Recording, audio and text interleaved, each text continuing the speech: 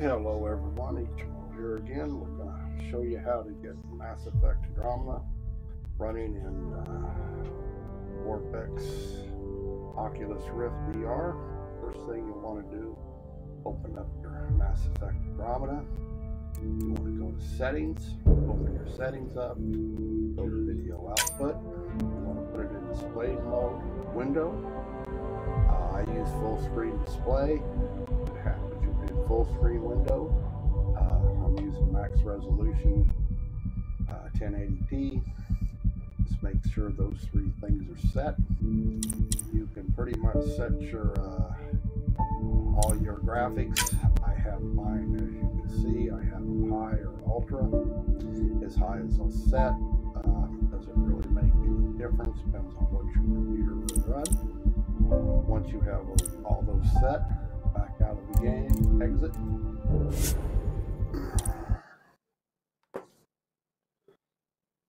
Once it exits out, now you want the first thing you do is you want to start Oculus Rift.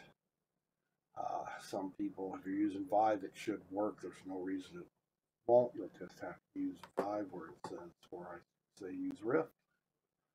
Once it loads up, minimize it, get it out of your way, and you want to start start Vorpx.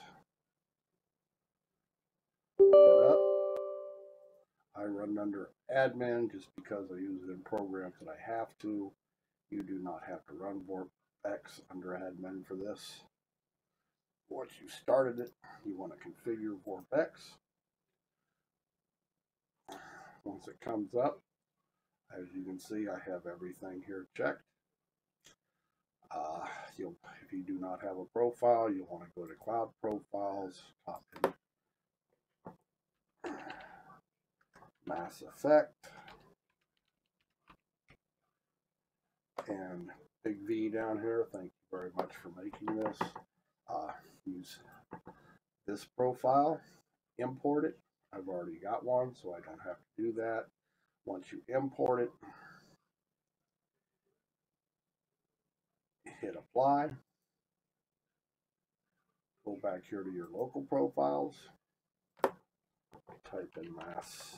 It should come up. Click on it, apply and close. Vorpx is ready to roll. Now you want to start Mass Effect again. I have my origin so it automatically loads up. Whether you'll go to the origin screen to log in if you don't have it.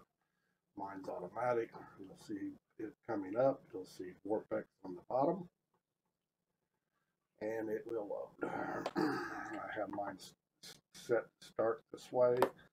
But you'll, if you do too, you'll have to just enlarge it, bring it up to full screen. Once you do that, you're ready to go into your headset. Okay, we're on the resume screen. We'll want to open up Vorpx. Hit the delete key. Now I'm going to do something different here than I do when I play. I turn reconstruction off because I'm recording in shadow play. Sometimes when it's on, it's on. I'm going to switch to mirror mode. When you have 3D construction on, it will hang the program. Uh, make sure you have, if you want to record, make sure you have shadow play running. If you're running shadow play before, before you uh, turn mirror mode on so you can show what's on the screen. I am now going to turn it on. Direct mirror mode, I'm going to go to full, this is half size. I am going to go to full size and I am now recording showing what I'm showing on screen.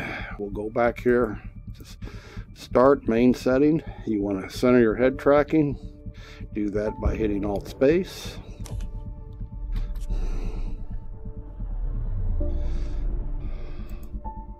Image settings crystal image I go normal see all my settings there. I use one-to-one -one pixel. Some people say not to do that. I find it works very well. Display settings. Render and fluid sync on. GPU sync is safest. EdgePeek is on. Head tracking's on. Sensitivity I set it 70. Everything else is off. You can set up your touch settings if you want to. If you have an Oculus Touch, I use a gamepad, Xbox gamepad, so I prefer it. I have disabled mouse accel acceleration.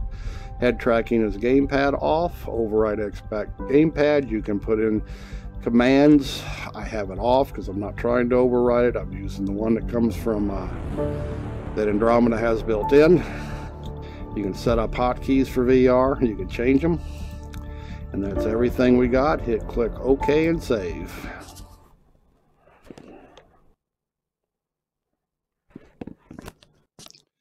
And we'll finish loading in.